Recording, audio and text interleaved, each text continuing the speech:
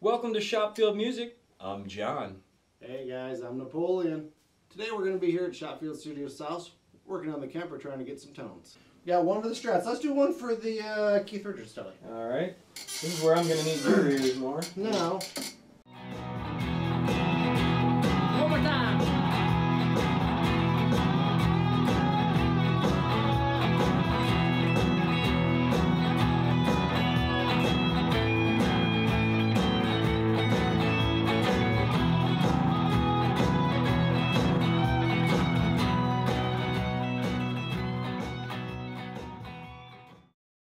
what should we go for? Uh, I Fender. say Fender high power tweed twin. Let's go vintage uh, Keith Richards like he did in the 60s because that's what he did in the 60s. Those are the tones that you and I know and like and I think the Stones are based on that. Alright, we're going to try this. Let me see that guitar, sir.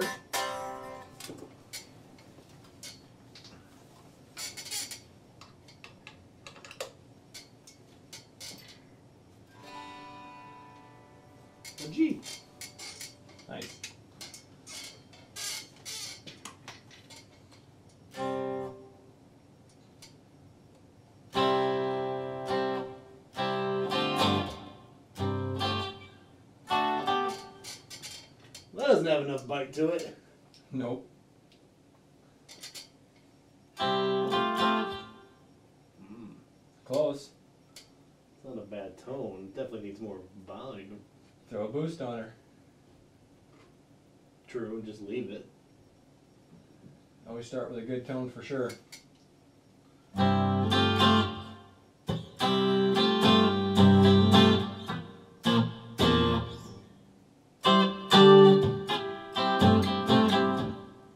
Middle position so you got the humbucker too.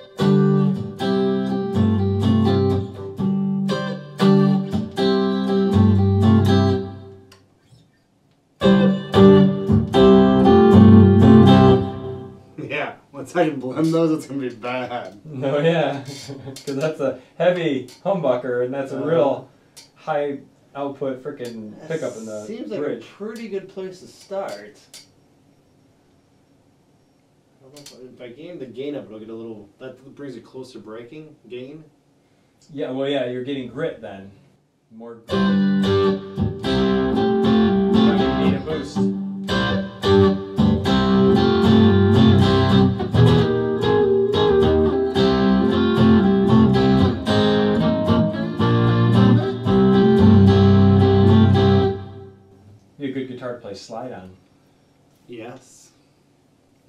True.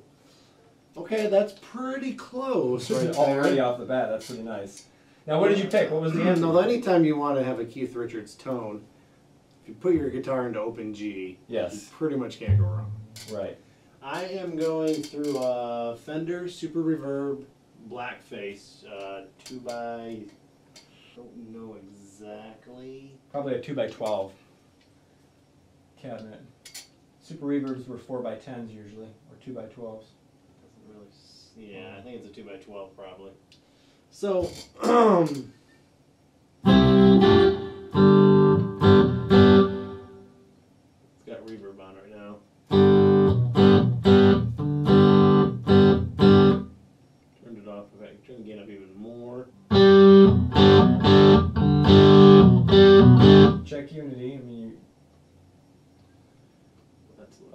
mean we don't have any pedals, so I mean it's just how loud the amp. That, that's not working for me. no, that definitely changed it. Keep putting back a little bit, maybe too much gain.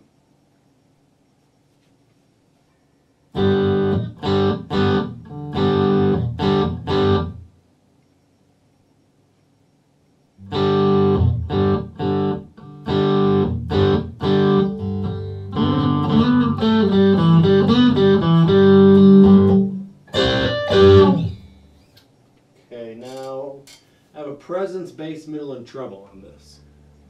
Well, a lot of times he took the bass string off his guitar entirely because he said there's a bass guitar player for that. And he was probably trying to poke out a little more. And he used a Tele, So it's already going to be fairly bright anyway. So maybe roll the high down a little and the mids up again like we did earlier. Let's just see what that does to this amp. Because all amps are different too.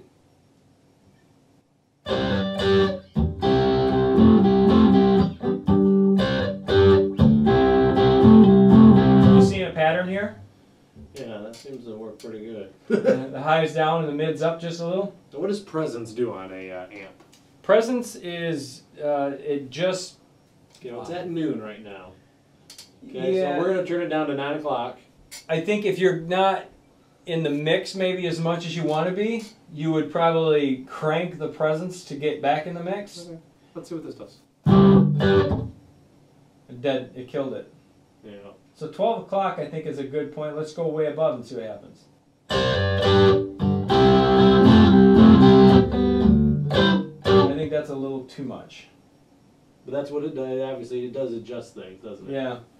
I liked it right where it was at. Yeah, I mean.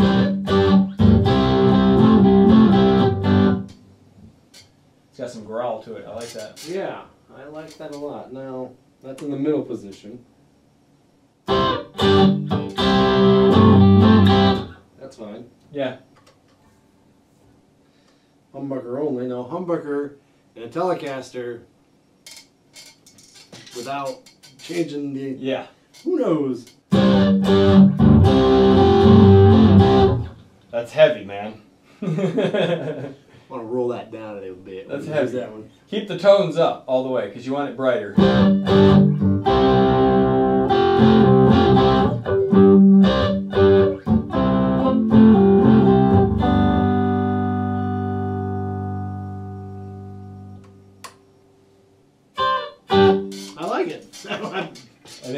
Great tone. um, That's great. You're right out of the box, Keith Richards, right there. honestly, for this song, there's not a whole lot of effects I would really use. I don't, I don't think Keith Richards used a lot of effects. So I don't think we necessarily have to go through and figure that out. When I decide I want something for it, I'll throw it in there, and I now know how to store it. That's but right. That seems to sound good to me. I like it. Um, What do you guys think? Now, mind you, this is my condenser microphone. Are you recording the I'm not. Okay, so you're not going to get. My condenser mic is on right now, and it does a pretty good job of picking up the tone in the room. So um, he can use my condenser mic to give you guys a, an idea of what this is actually going to sound like. If I wanted to try to thicken that up even more, Um, I could just put a lead boost on. Right. Yep. I mean, Fender amps are known for taking pedals, so whatever you throw at it, let's see what happens.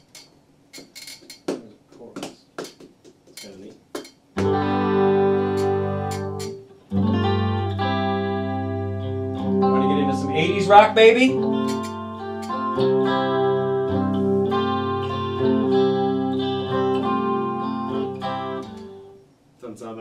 Just for fun. Sure. Hey, you gotta have some fun stuff, man.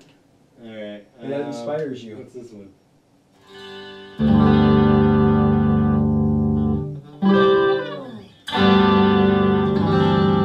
I don't like that one. So we'll change that one. That was a vibrato. But uh, probably a boost is what we're looking Mhm. for, right?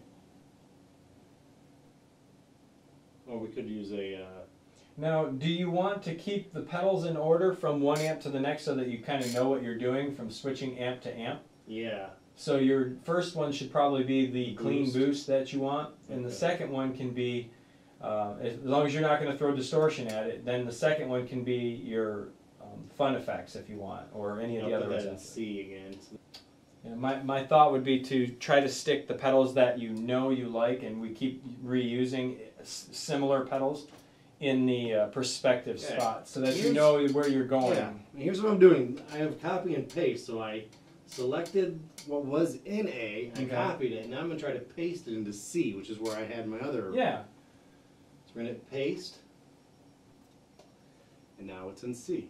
Good deal. So that worked. That's cool. So turn that off, turn that off, and we'll just put a boost in A, 'cause that's where my boost goes.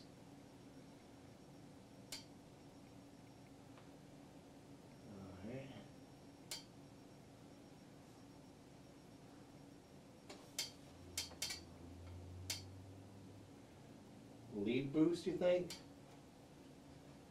Pedal boost, pure boost, treble default, solo confidence. Let's do a confidence boost. Okay. Who doesn't need a good confidence boost?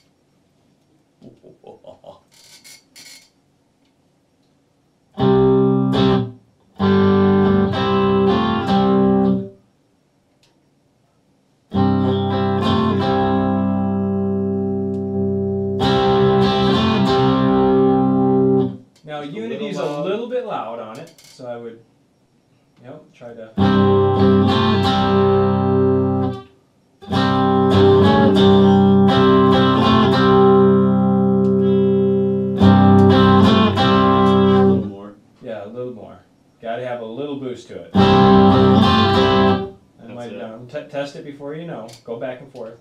Anytime you push your buttons, try it.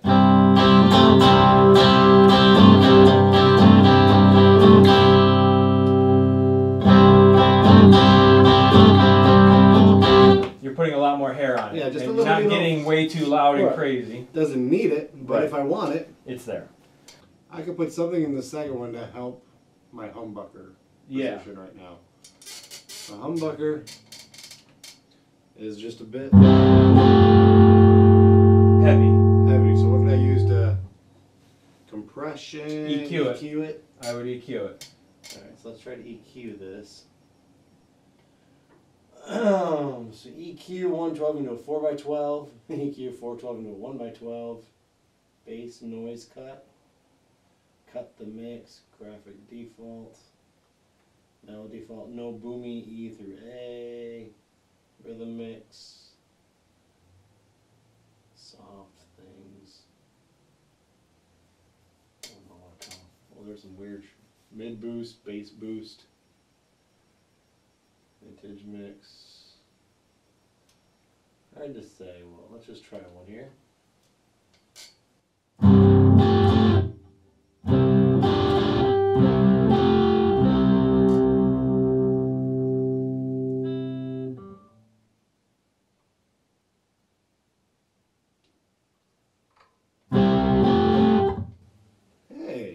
That's not so bad. That's not good. What'd you do?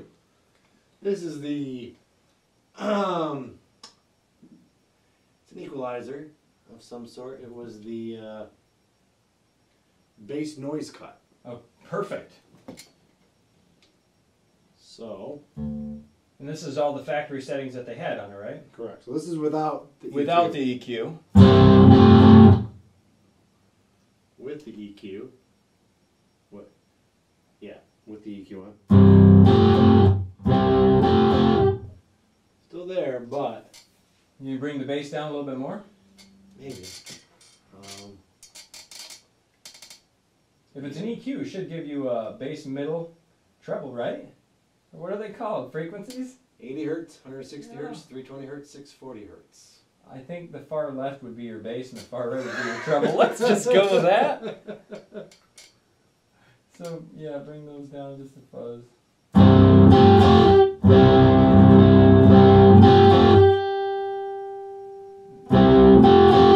Okay, go the other way with them. See what that does. Uh -huh.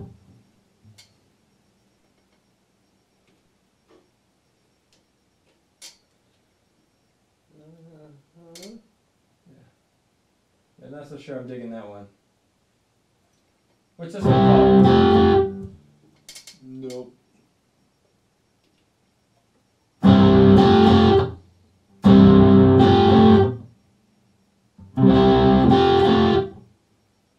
It's getting better. That's too much going on there. Right. Yeah, it's just muddy.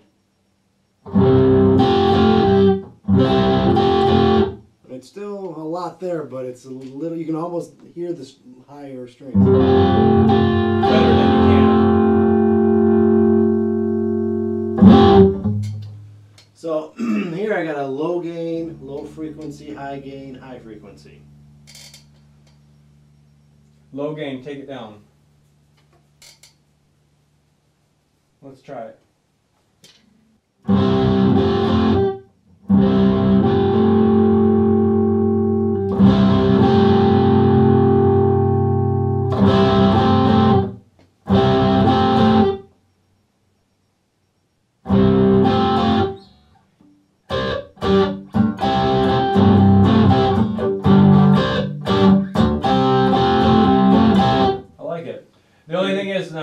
Your bridge position and play. I want to hear the difference. With the EQ on? Yeah, let's just hear. it. I want to see what happens.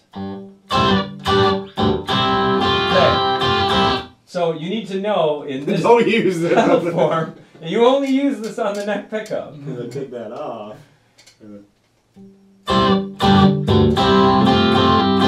There's your high bright stuff. Now switch the pedal on and go to your neck pickup.